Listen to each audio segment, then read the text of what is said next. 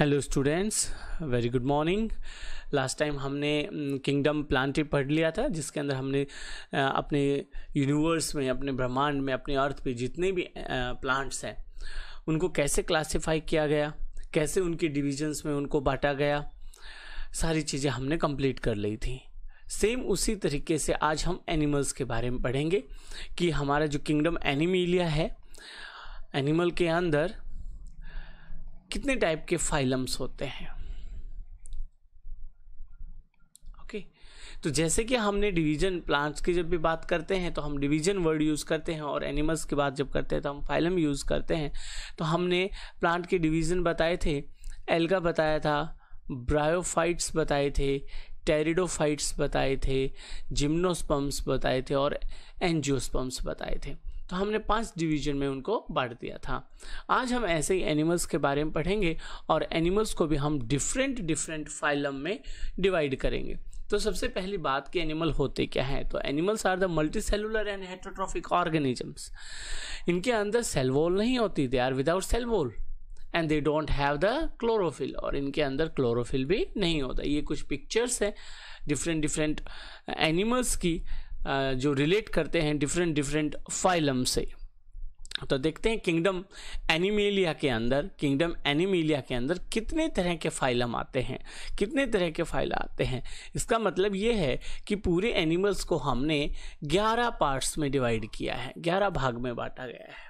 Okay तो सबसे पहले जो सिंपलेस्ट ऑर्गेनिजम्स हैं, उनका नाम पोरीफेरा है, फिर निडेरिया है, ध्यान देंगे कि सी साइलेंट है, फिर टिनिफोरा है फिर प्लेटी हेलमेंथिस है एसके हेलमेंथिस है, एनिलीड्स हैं, आर्थ्रोपोड्स हैं, मोलस्क हैं, इकाइनोडर्मिटा है हेमिकॉर्डेट्स हैं, एंड द कॉर्डेट्स ओके तो हमने, आप पिक्चर से भी पता लगा रहे होंगे कि 11 तरह के अलग अलग पिक्चर हैं। हमने पूरे एनिमल किंगडम को एनिमिलिया को, हमने 11 फाइलम में बांट दिया है 11 भाग में बांट दिया है। जैसे हमने प्लांट्स को पाँच भाग में बांटा था एल्गी में बांटा था ब्रायोफाइट टेरोफाइट में बांटा था जिम्नोस्पम्स और एंजियोस्पम्स में बांटा था, वैसे। तो आज हम सबसे पहले बात करेंगे कि किंगडम एनिमिलिया को 11 भाग में बांटा। तो वो कौन कौन से कैरेक्टर्स थे? क्लासिफिकेशन का क्या तरीका था जिससे हमने इनको 11 पार्ट में डिवाइड किया 11 फ़ाइल में डिवाइड किया? तो सबसे पहला तरीका था लेवल ऑफ़ ऑर्गेनाइजेशन कि उनका ऑर्गेनाइजेशन कैसा है, कैसे वो बने हैं। उनकी बॉडी का शेप स्ट्रक्चर कैसी है सिमिट्री कैसी है, उसकी एम्ब्रियोनिक लेयर्स कैसी हैं। जन्म लेता है जब वो एम्ब्रियो स्टेज में होता है, उसके अंदर कौन कौन सी लेयर्स हैं, जिसको हम जर्मिनल लेयर्स बोलते हैं, उसकी बॉडी कैविटी कैसी है बॉडी की कैविटी कैसी है बॉडी कैविटी को हम सिलोम बोलते हैं। वन बाय वन आप हर एक वर्ड को अभी आगे जान जाओगे, इनका सभी का पूरा एक्सप्लेनेशन हम करेंगे। वो ऑर्गेनिज्म कैसा है, एक सिंगल पार्ट में है या सेगमेंटेड पार्ट में है, ये हमें देखना है। उसके अंदर नोटोकॉड है या नहीं है ये हमें देखना है। सो so, ये हमारे पास छः वो तरीके हैं छः वो स्टेप हैं जिनके बेसिस पे हमने किंगडम एनिमिलिया को ग्यारह फ़ाइल में डिवाइड किया हुआ है। Okay okay? या फिर मैं बोल सकता हूँ ग्यारह फ़ाइल मिलके एक एनिमल किंगडम बनाते हैं। तो हमारा यूनिवर्स हमारी जो डाइवर्सिटी है लिविंग ऑर्गेनिजम्स के बहुत ह्यूज है। Okay okay? आप देख पा रहे हो डिफरेंट डिफरेंट पिक्चर्स हैं हर के अपने अलग अलग फ़ाइल हैं। तो सबसे पहले बात करते हैं लेवल ऑफ़ ऑर्गेनाइजेशन की। तो प्यारे बच्चों, आप ये चीज़ पहले भी पढ़ चुके हो कि कोई भी ऑर्गेनिज्म होता है, जो उसकी बॉडी होती है, उसकी ऑर्गेनाइजेशन होती है, जिस चीज़ से बना होता है, उसके चार तरह के लेवल्स होते हैं। Based on the organisation of cells, animals are grouped into four levels. जो उसकी कोशिकाएँ हैं, उनकी सेल्स हैं, वो किस लेवल तक ऑर्गेनाइज्ड हैं? सो so, सबसे पहले सेलुलर लेवल ऑफ़ ऑर्गेनाइजेशन इस बात से समझेंगे बच्चे कि जित इस लेवल के अंदर जो भी एनिमल है उसका हाईएस्ट ऑर्गेनाइजेशन लेवल क्या है? सेल है. मतलब सेल से ऊपर नहीं है. उसके अंदर कोई भी टिश्यू नहीं है. उसकी पूरी जो बॉडी है वो सेल की बनी हुई है. फिर है टिश्यू लेवल ऑर्गेनाइजेशन कि उस एनिमल की बॉडी के अंदर सेल भी है और टिश्यू भी है. सेल्स एग्रीगेट होके टिश्यू बना चुकी हैं. कि उसके अंदर अगर हम उसका डाइसेक्शन करेंगे तो हमें टिश्यू लेवल ऑफ़ ऑर्गेनाइजेशन मिलेगा। Third one is organ level of organisation कि उसकी बॉडी के अंदर हमें ऑर्गन भी मिलेंगे एनिमल की बॉडी के अंदर हमें ऑर्गन्स भी मिलेंगे। And fourth is organ system level of organisation ये हमारा हाइएस्ट लेवल ऑफ़ ऑर्गेनाइजेशन है, जिसको हम फिर बाद में बोलते हैं ऑर्गेनिज्म बोल देते हैं। Okay okay? तो हमारे पास चार ये तरीके हैं, चार लेवल्स हैं। जिसकी बेस पे हम क्या करते हैं? ग्रुपिंग करते हैं ऑर्गेनाइजेशन की। सो लेवल ऑफ़ ऑर्गेनाइजेशन अगर पूछ लिया जाए डिफरेंट डिफरेंट फाइला का तो वो डिफरेंट डिफरेंट होगा सेलुलर लेवल भी होगा, कुछ टिश्यू लेवल के भी ऑर्गेनिज्म होंगे, कुछ ऑर्गन लेवल के ऑर्गेनिज्म भी होंगे और कुछ ऑर्गन सिस्टम लेवल के भी ऑर्गेनिज्म होंगे। तो जैसे कि आप एक आप अच्छे से देख पा रहे हो सेलुलर लेवल ऑफ़ ऑर्गेनाइजेशन ये जैसे पोरीफेरा एक एनिमल है जिसका नाम है पोरीफेरा सबसे पहला हम पढ़ेंगे, इसी को पढ़ेंगे। पोरीफेरा तो उसका एक कैरेक्टर ये है कि इसकी ऑर्गेनाइजेशन क्या है? तो इसकी ऑर्गेनाइजेशन क्या है? सेलुलर लेवल ऑफ़ ऑर्गेनाइजेशन आप पोरीफेरा का एग्ज़ाम्पल देख पा रहे हो आप, अच्छे से पिक्चर इसके अंदर सारी जो इसके अंदर जो भी आपको ये दिख रहा है these all are cells they are not aggregated to make tissue और organ system okay example is Porifera tissue level of organisation. Cells are arrange into tissue. तो हमारा सबसे पहला पोरीफेरा था उससे एडवांस क्या होगा? Cnidarians and Ctenophora. Organ level of organisation. Tissue are arrange into organs higher animals बोलते हैं। जहाँ पे भी, जिस एनिमल में भी टिश्यू लेवल आ जाता है, organ level sorry, organ level आ जाता है, ऑर्गन लेवल का बना हुआ होता है, उसका लेवल ऑफ़ ऑर्गेनाइजेशन ऑर्गन है तो वो क्या है? हाइयर एनिमल है।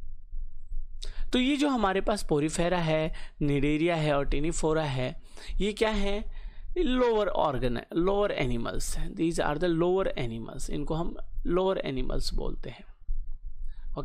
Organ system of uh, level of organization. Organs are associated with organ system. Each system perform a physiological function higher animals ये भी क्या है? जैसे हम हम किस चीज़ के हैं? हमारे लेवल ऑफ़ ऑर्गेनाइजेशन क्या है? Organ system level okay? चलिए तो लेवल ऑफ़ ऑर्गेनाइजेशन आप लोगों ने देखा अच्छे से, ये देखिए। आप ये हाइड्रा का एक डायग्राम है हमारे पास, ये हमारे पास राउंड वॉर्म का डायग्राम है। Organ system of different animals shows complexity जैसे कि डाइजेस्टिव सिस्टम किसी भी ऑर्गेनिज्म के अंदर जो डाइजेस्टिव सिस्टम है, हम जनरल कैरेक्टर्स पढ़ रहे हैं। डाइजेस्ट जैसे कि जब हम पोरीफेरा पढ़ेंगे तो अब आपसे पूछेंगे, इसके अंदर भी डाइजेस्टिव सिस्टम इनकम्प्लीट है या कंप्लीट है? ठीक है? तो एक बार जगह अगर हम अच्छे से ये बात समझ जाएँ कि इनके जर्नल कैरेक्टर्स क्या हैं तो हम बहुत अच्छे से समझ सकते हैं। जैसे डाइजेस्टिव सिस्टम दो टाइप का होता है। For example hydra. Incomplete digestive. It has only a single opening that act as a mouth और एनएस जो माउथ की तरह भी काम करेगी और एनएस की तरह भी काम करेगी। ऐसा ऑर्गेनिज्म जिसके अंदर इनकम्प्लीट डाइजेस्टिव सिस्टम है, इसका मतलब है कि इन और आउट के लिए सिर्फ़ एक ही ओपनिंग है। वही ओपनिंग एज ए माउथ भी काम करेगी और एनएस भी काम करेगी। तो इसका बेस्ट एग्ज़ाम्पल क्या है? हाइड्रेरिया hydra and planaria okay hydra and planaria got my point, चलिए। Complete. It has the two openings. It has both mouth and anus. Mouth भी होगा और क्या होगा? एनएस भी होगा। सर्कुलेटरी सिस्टम दो तरह का होता है। ओपन सर्कुलेटरी सिस्टम और क्लोज्ड सर्कुलेटरी सिस्टम देखिए ओपन सर्कुलेटरी सिस्टम का मतलब क्या हो गया कि ब्लड है, वो पूरे ऑर्गेनिज्म के अंदर बह रहा है। उसके अंदर कोई भी ट्यूब्स नहीं है ट्यूब सिस्टम नहीं है मतलब वेन्स नहीं है आर्टरीज नहीं है। वो जो पूरी की पूरी बॉडी है, वो ओपनली बह रहा है। That is called open and close मतलब कि वो एक सिस्टम बना हुआ है, एक सिस्टम से है। उसके अंदर आर्टरीज भी हैं वेन्स भी हैं। उसके अंदर पंपिंग सिस्टम भी है। सारा सिस्टम हम आगे आपको वन बाय वन पढ़ाएँगे। तो आपको याद रखना है सर्कुलेटरी सिस्टम ओपन होगा या क्लोज होगा। नेक्स्ट सिमिट्री बहुत ज़रूरी है, बहुत ज़रूरी। देखिए, मज़ा आएगा आपको पढ़ने में। सिमिट्री का मतलब क्या हुआ? Arrangement of similar body parts on the two sides of main axis of the body देखिए कि कोई भी ऑर्गेनिज्म है कोई भी ऑर्गेनिज्म है, उसको सिमेट्रिकल ऑर्गेनिज्म कब कहेंगे? जब अगर उसको बीच में से डिवाइड करो तो दोनों साइड इक्वल आए इक्वल का मतलब कि जो नंबर ऑफ़ पार्ट्स हैं, वो भी क्या है? इक्वल हो। जैसे asymmetrical organisms the body can not be divided into two similar parts ये वर्ड देखिए सिमिलर पार्ट्स का मतलब जैसे कि मैं ये कहूँ फॉर एग्ज़ाम्पल अगर हमें काटना शुरू किया जाए तो हमारी एक आँख इधर रहेगी, एक इधर, एक नाक इधर रहेगा, एक नाक इधर। एक हाथ इधर रहेगा, एक हाथ इधर।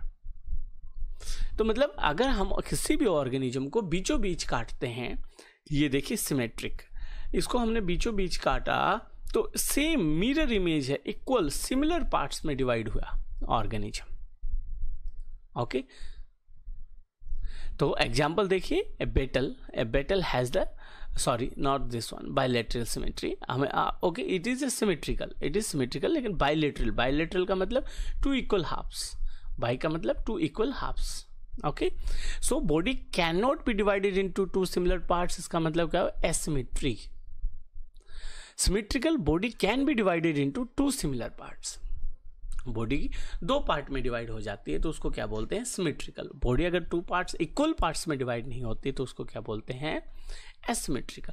अब इसमें भी एक और चीज़ है, जैसे कि रेडियल सिमेट्री या फिर बाइलेटरल। रेडियल सिमेट्री का मतलब क्या हुआ? ये body can be divided into two equal halves by any vertical plane along the centre कोई भी एक ऑर्गेनिज्म है, उसको सेंटर से आप किसी भी डायरेक्शन से काट दीजिए। किसी भी डायरेक्शन से काट दीजिए। जैसे एक ऑर्गेनिज्म है, इसको मैंने पहले इधर से काटा। दो इक्वल हाफ़ में आ गया। फिर ये एक ऑर्गेनिज्म है। इसको फिर मैंने इधर से सॉरी, इधर से काट दिया। तो किसी भी प्लेन से, किसी भी डायरेक्शन से काटो, वो बिल्कुल एग्जैक्ट दो इक्वल हाफ़ में डिवाइड करेगा। उसको बोलते हैं रेडियल सिमेट्री। क्या बोलते हैं उसको radial. By any vertical plane vertical plane का मतलब समझ गए वर्टिकल प्लेन ये देखिए मैंने गलत लिख दिया था। This is not there vertical plane only कि आप इसको इधर से, ये देखिए, आपने ये ये ये ऑर्गेनिज्म है। आपने इसको इधर से काट दिया।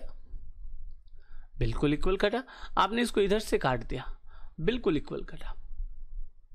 Okay bilateral here body can be divided in two one right and left halves only in one plane अब ये मान लीजिए, ये देखिए, ये कॉकरोच है, इसको आपने काटा। सिर्फ़ एक एंगल से अगर आप इसको इधर से ही काटोगे तो ही दो इक्वल हाफ़ में कटेगा। अगर आपने इसको इधर से काट दिया तो इक्वल हाफ़ में कटेगा? नहीं। जैसे ये देखिए, ये सो है, ये देखिए। इसको अगर आपने इसको बीचों बीच बिल्कुल यहाँ से काटा, दो इक्वल हाफ़ में कटा। अगर आप इधर से काटोगे तो क्या एक जैसे आइडेंटिकल हाफ्स है? नहीं है। सो so, बाई का मतलब दो। अगर कोई भी ऑर्गेनिज्म है एक प्लेन से divide right into left only one plane किसी भी एक प्लेन से अगर काटते हो दो इक्वल हाफ़ में कटता है तो बाइलेटरल और रेडियल का मतलब क्या हुआ कि कोई भी ऑर्गेनिज्म है वो दो इक्वल हाफ़ में कट जाएगा वर्टिकली आप किसी भी एंगल से काट दो उसको। ओके चलिए। Okay now symmetry radial symmetry पढ़ा और आपने क्या पढ़ा? बायलेटरल सिमिट्री पढ़ा। आपने पढ़ा ना? रेडियल सिमिट्री पढ़ा और बायलेटरल सिमिट्री पढ़ा।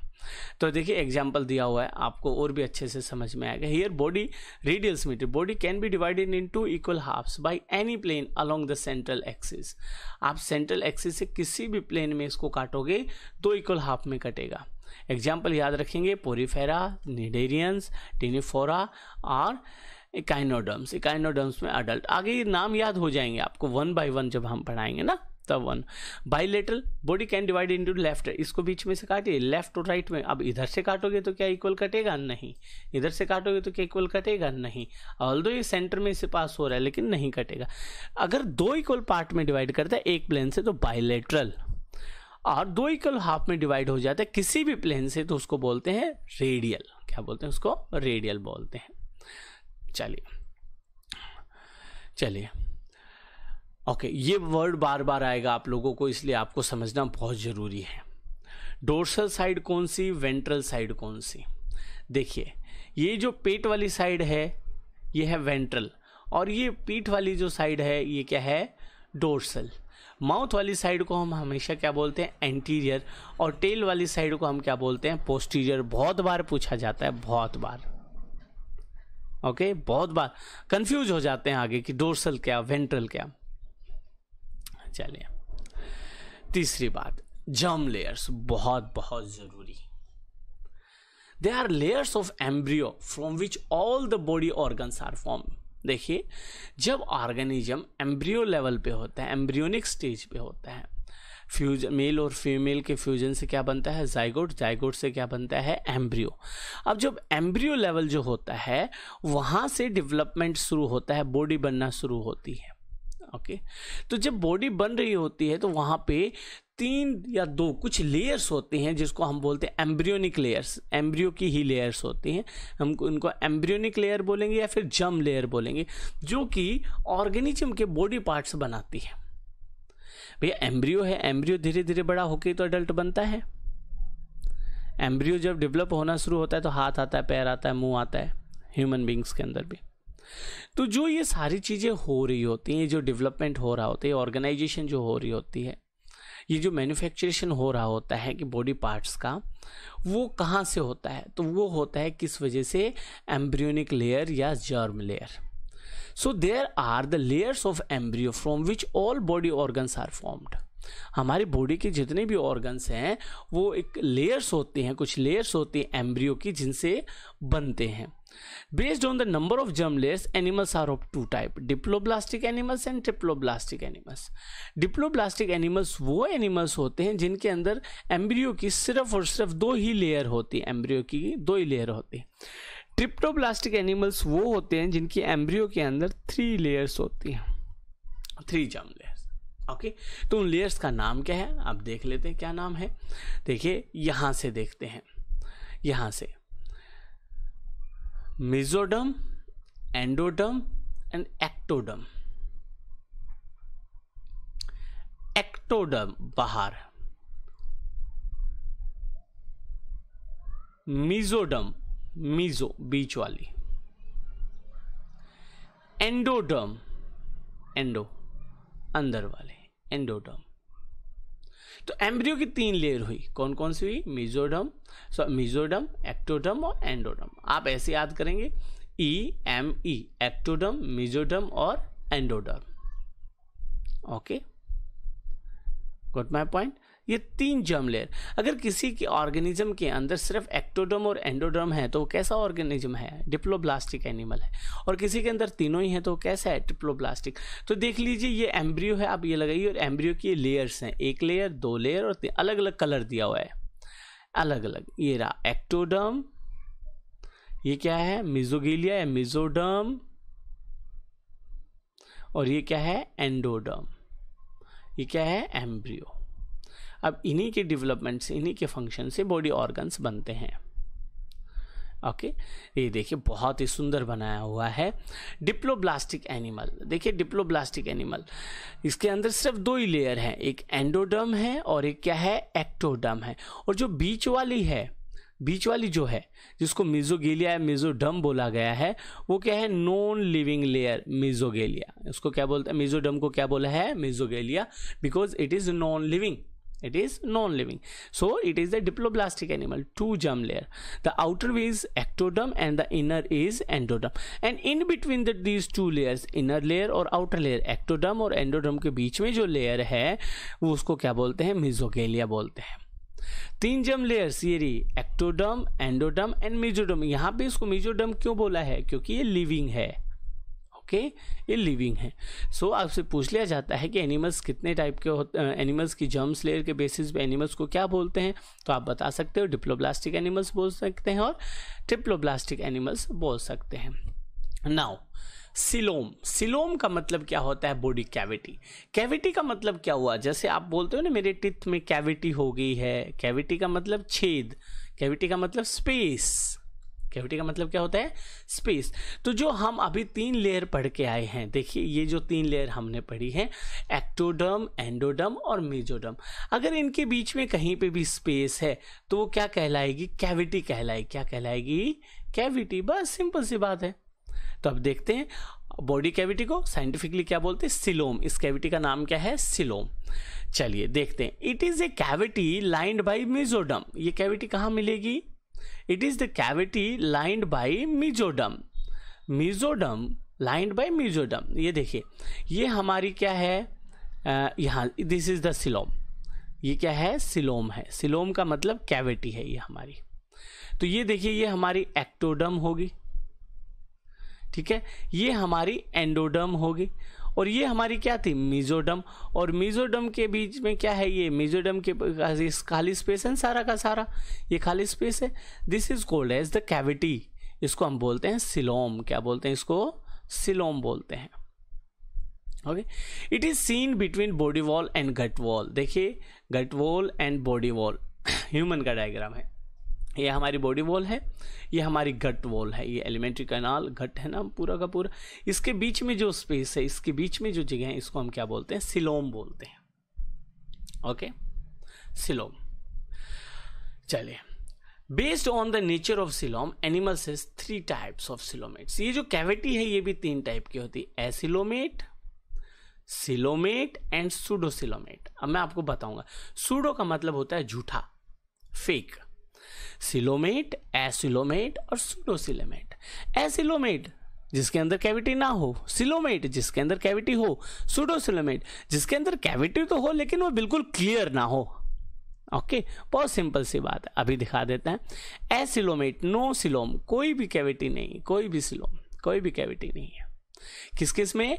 पोरीफेरा में और Platyhelminthes Porifera and Platyhelminthes okay pseudocoelomate false coelom देखिए, है कैविटी है, ये रही ये रही ये रही कैविटी लेकिन देखिए बीच बीच में इसके लेयर भी हैं। बीच बीच में क्या है? लेयर्स भी हैं।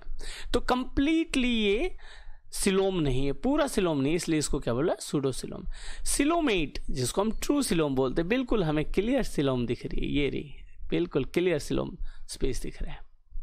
Okay here the coelom arise from the mesoderm coelom is lined by parietal layer parental layer and filled with coelomic fluid ये क्वेश्चन पूछ लिया जाता है सिलोम जो कैविटी है उसके अंदर कौन सा फ्लूड होता है तो उसके अंदर कौन सा है सिलोमिक फ्लूड होता है तो एनालिड से लेके कोर्डेटा जो हमारे फाइलम है उन सभी में ट्रू कैविटी मिलती है हमें ओके okay?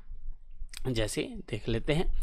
एसोलोमेट कोई भी सुलोम नहीं है। हमने क्या किया? हमने पोरीफेरा को या प्लेटी हेलमेन थे उसको हमने बीच में से काटा और हमने उसकी जम्स लेयर देखी। तो हमें देखा कि इसके सारे के सारा सिस्टम कहीं पे भी स्पेस नहीं है। डाइजेस्टिव ट्रैक है forms digestive tract from endodermis body covering from ectoderm इसकी जो बॉडी कवर है प्लेटी हेलमेंथिस ये ऑर्गेनिज्म है, इसकी जो बॉडी की कवरिंग कौन बना रही है? एक्टोडर्म बना रही है। इसका डाइजेस्टिव सिस्टम कौन बना रहा है? एंडोडर्म बना रहा है। ठीक है टिश्यू फिल्ड रीजन और जो टिश्यू फिल्ड रीजन है वो कौन बना रहे हैं? अंदर के टिश्यू कौन बना रही है? मिजोडम बना रही है। क्योंकि यही तो तीन लेयर हैं जो ऑर्गेन उनको कंप्लीट करती हैं ऑर्गेनिज्म को। तो यहाँ पे कहीं पे भी कैविटी नहीं है, इसलिए एसिलोमेट है सुडोसिलोमेट या फॉल्स कैविटी है तो हमने देखा एक एस के हेलमेंथिस हमने उठाया, उसको हमने बीच में से डाइसेक्ट किया। तो काटा कि यस इसके अंदर स्पेस है, लेकिन कंप्लीट स्पेस नहीं है, इसलिए हमने क्या बोल दिया? Pseudocoelomate true coelomate true coelomate में हमने एनिलीड्स को लिया, हमने काट के देखा उसको। तो देखिए ये रहा स्पेस स्पेस इसके अंदर क्या है? कैविटी सिलोम है। This is the coelom we have found that it has a clear coelom okay ये देखा रहे फ़ंक्शन ऑफ़ सिलोम क्या काम करते हैं फ़ंक्शन को? Reduce the friction between the visceral organs जो हमारे ऑर्गन्स होते हैं, उनके बीच में फ्रिक्शन को रिड्यूस करता है। देखिए, ये जो ऑर्गन्स हैं, इनके बीच में फ्रिक्शन को क्या करता है? ये रिड्यूस करते हैं। ऑर्गन्स के बीच में फ्रिक्शन को क्या करते हैं? रिड्यूस एक और जो इम्पोर्टेंट पॉइंट है, जो आप लोगों को पता करना है अबाउट द एनिमल्स कि उनकी मेटामेरिज्म मेटामेरिज्म का मतलब ये हुआ बेटा कि एनिमल है वो कैसा है? सेगमेंटेड है या विदाउट सेगमेंटेड है? ध्यान रखें। It is the phenomena in which the body और the organ is externally externally and internally divided into repeated segments अगर मान लीजिए ये ऑर्गेनिज्म है, इसको मैं बीच में से काटूं तो ये पूरा का पूरा ऑर्गेनिज्म क्या है? सेगमेंट्स में कट जाए। एक तो हमें बाहर से ही लगे कि ये सेगमेंटेड है सेगमेंटेड है सेगमेंटेड है। जैसे कि एक तो मैं कोई शर्ट का चेक का डिज़ाइन पहन लूँ तो मुझे बाहर से ही लगे। और कोई अगर मैं कहूँ कि जैसा मेरा चेक का डिज़ाइन है, वैसा ही मेरे अंदर बॉडी का भी डिज़ाइन है। ओके तो it is the phenomena in which body organ is externally and internally divided into repeated segment metamers तो हर एक सेगमेंट को क्या बोलते हैं? मेटामर बोलते हैं। Okay now notochord it is that mesodermal derived ये ध्यान रखना है बहुत इंपॉर्टेंट क्वेश्चन है, ये पूछा जाता है नोटोकॉर्ड में कि जो नोटोकॉर्ड है वो कहाँ से ड्राइव होती है? मिजोडर्म से। एक स्पोर्टिंग रोड है form on the dorsal side during the embryonic development in some animals कि एम्ब्रियोनिक जब डेवलप हो रहा रहता है तो डोर्सल साइड मतलब पीछे वाली साइड में रोड बनती है, ये रही dorsal side animals with notochord are called chordates जिन भी एनिमल्स की नोटोकोड होती है, उनको हम क्या बोलते हैं?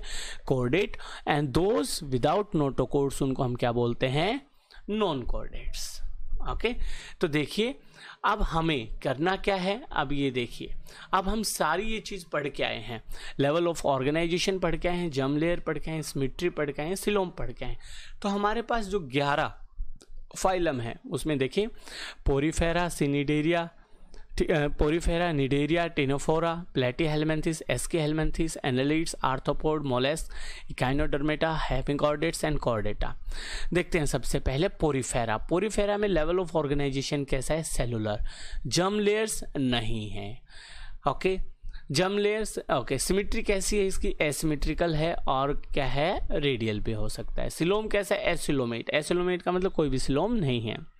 अब देखिए निडेरिया और टिनिफोरा में लेवल ऑफ़ ऑर्गेनाइजेशन कैसा है? टिश्यू जम लेयर डिप्लोब्लास्टिक मतलब एक्टोडर्म है और एंडोडर्म है। सिमिट्री कैसी है? रेडियल है। कैसी है? रेडियल दो बताई थी ना, एक रेडियल और एक बाइलेटर रेडियल का मतलब एक प्लेन से अगर काटते हैं सॉरी रेडियल का मतलब अगर वर्टिकली किसी भी प्लेन से काटते हैं तो वो दो इक्वल हाफ़ में बट जाता है। कोई भी ऑर्गेनिज्म है, उसको किसी भी प्लेन से काटो, वो दो इक्वल हाफ़ में बट जाएगा। एसिलोमेट है। प्लेटीहेलमेंथिस कैसे हैं? ट्रिप्टोब्लास्टिक हैं और बाइलेटरल हैं। ओके एनालिड से लेके कोऑर्डिनेट तक सारे के सारे लेवल ऑर्गेनाइजेशन क्या है? ऑर्गन लेवल तो जहाँ से भी ऑर्गन सिस्टम या ऑर्गन लेवल ऑर्गेनाइजेशन स्टार्ट हो जाती है, वो हाइयर एनिमल्स हैं। Okay okay? तो इस तरह से आपको हर एक और फाइलम पढ़ना है। जैसे हमारा सबसे पहला है फाइलम पोरीफेरा तो फाइलम पोरीफेरा के बारे में अगर हमें जानना हो तो हम क्या क्या जानेंगे? लेवल ऑफ़ ऑर्गेनाइजेशन जान लेंगे? बॉडी सिमिट्री जान लेंगे जर्मिनल लेयर जान लेंगे सिलोम जान लेंगे हैबिट और हैबिटेट जान लेंगे digestive system respiratory system circulatory system reproduction कैसा है, उसके एग्ज़ाम्पल और उसके यूनिक फीचर्स तो इसका मतलब पोरीफेरा हमारा पूरा हो गया। ओके तो देखिए जर्नल कैरेक्टर्स फाइलम पोरीफेरा के एक बार हल्के बस आपको समझाने के लिए मैं एक बार ऐसा कर रहा हूँ। Otherwise we will see in the next class grade of organization cellular cellular level है। सिमिट्री मोस्टली एसिमेट्रिकल अच्छा कोई सिमिट्री नहीं होती, कुछ एक रेडियल होते हैं जर्मसिलेट नो सिलोम के बारे में हम पता, हमें पता है। दीज आर द एसिलोमेट्स ये सारे कैसे हैं? एसिलोमेट्स एसिलोमेट का मतलब कोई भी इनके अंदर कैविटी नहीं होती। तो आप यहाँ तक पढ़ें। और कोई भी डाउट हो तो मुझे बताएँ। और एक बात का ध्यान रखें, अगर आपको ये जो आज का जो लेक्चर मैंने आपको लिए तैयार किया है डायग्रामेटिक लिए तैयार किया है, आप इस बात का ध्यान रखेंगे कि ये टर्म्स ये टर्मिनोलॉजी आपको बिल्कुल क्लियर हो जाए, ताकि आने वाले टाइम में कोई भी फाइलम अगर आपको पढ़ना हो तो आप उसको अच्छे से पढ़ सके। Thank you very much have a nice day